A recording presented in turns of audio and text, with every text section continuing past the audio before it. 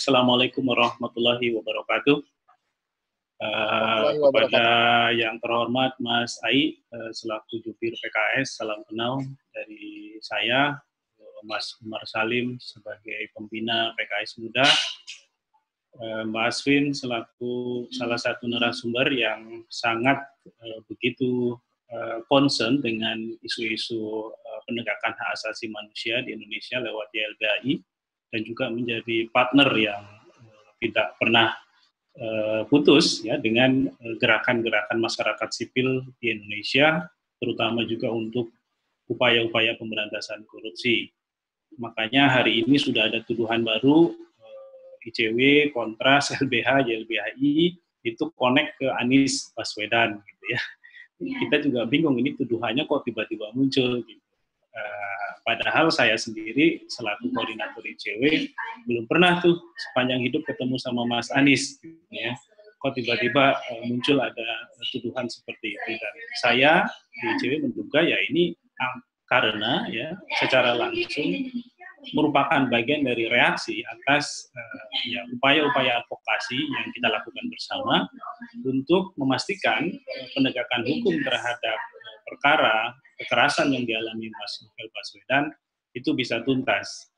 Nah, e, karena Mbak Asvin sudah menceritakan begitu detail mengenai e, konteks e, hukum pidananya dan kejanggalan-kejanggalan yang terkait dengan proses hukum yang dilakukan oleh kepolisian, saya kira saya tidak perlu mengulang lagi ya, aspek itu.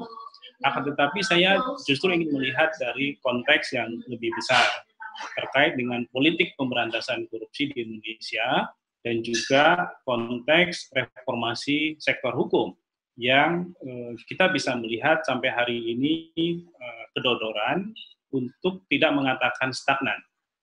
Nah, saya akan memulai dari yang pertama, eh, konteks eh, pemberantasan korupsi.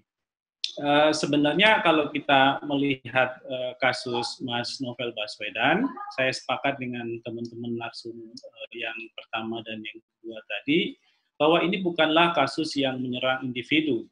Ya, ini bukan kasus yang sama ya dengan kekerasan-kekerasan lain akibat atau karena motif-motif individu misalnya tadi karena perselingkuhan, karena utangnya tidak dibayar, ya, dan lain-lain. Tapi sebenarnya jauh lebih besar dari itu bahwa penyerangan terhadap Novel Baswedan adalah penyerangan terhadap institusi negara dan penyerangan terhadap upaya-upaya pemberantasan korupsi yang sedang aktif-aktifnya diupayakan oleh KPK sebagai salah satu institusi yang memiliki tingkat kepercayaan yang besar dari masyarakat di Indonesia. Dan e, penyerangan terhadap Novel Baswedan melengkapi sebenarnya penyerangan-penyerangan secara fisik maupun psikis para staf di KPK ya, yang juga sempat muncul tapi tidak terlalu terekspos, juga terhadap para pimpinan KPK sebenarnya yang e, selama ini juga menjadi simbol dari e, apa ya upaya pemberantasan korupsi yang lebih uh, serius. Di luar konteks uh, kasus Mas Novel, kekerasan terhadap uh, human rights defenders di Indonesia juga adalah sesuatu yang uh, sering kali muncul, ya tidak hanya di level nasional tapi juga di level daerah. Bukan hanya menyerang institusi atau perangkat negara yang memiliki kewenangan untuk memberantas korupsi, tapi juga menyerang elemen masyarakat sipil, termasuk uh, kelompok jurnalis. Kita ingat beberapa tahun lalu ada seorang wartawan lokal di Bali, tepatnya di Kabupaten Badung, karena begitu getol memberitakan mengenai indikasi korupsi dinas pendidikan di Kabupaten Badung, beberapa waktu uh, kemudian mayatnya ditemukan di laut, ya, ditenggelamkan dengan batu, dan kemudian setelah diselidiki dengan berbagai macam proses pressure, tekanan dari kelompok uh, wartawan, termasuk Aliansi Jurnalis Independen atau AJI, akhirnya terungkap bahwa pelakunya adalah adik Bupati Badung saat itu, yang memang merasa bahwa jurnalis ini adalah gangguan. Gangguan dari apa? Gangguan terhadap apa? Gangguan terhadap ya kenyamanan dari praktek-praktek koruptif yang mereka sebenarnya sudah lakukan selama ini.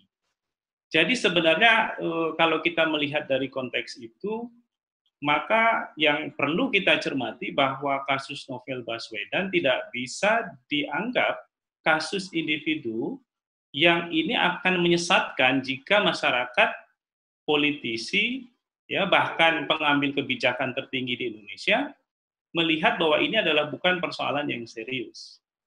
Akan tetapi memang kalau kita kemudian rujuk kembali ke sejarah ya pemberantasan korupsi di Indonesia, tadi Mas Ais sudah menyinggung soal reformasi sampai ke sini begitu ya.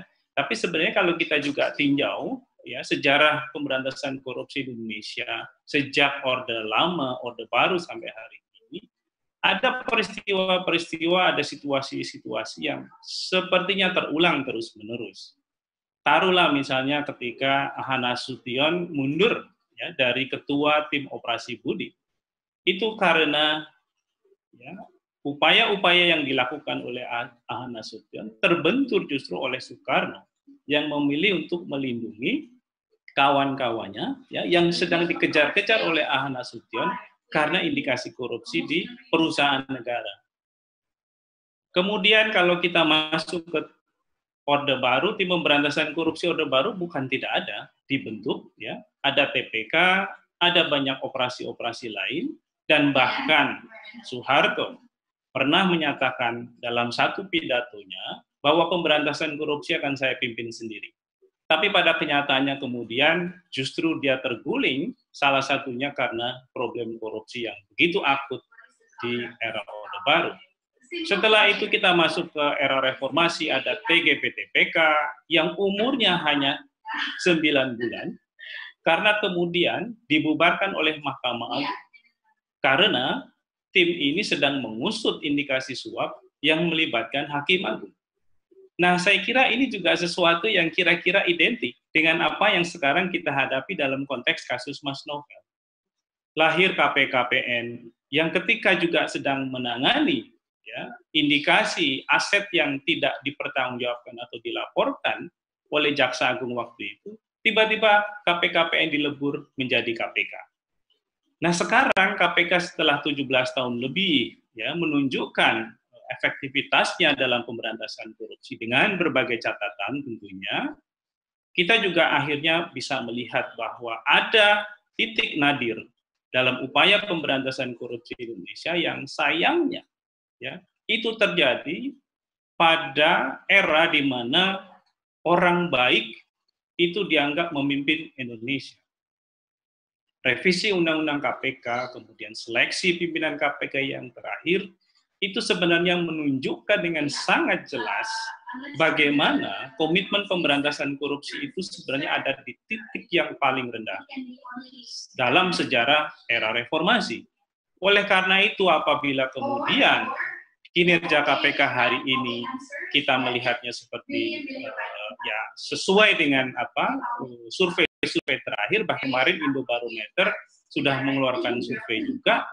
Ya kepercayaan publik terhadap KPK itu sekarang sangat anjlok gitu ya. Turun peringkatnya dari nomor satu sejak 2016 sampai 2018 tiba-tiba anjlok menjadi hanya nomor lima di bawah kepolisian yang juga sedang dikritik ya oleh banyak pihak karena penanganan kasus novel yang nggak proper ini.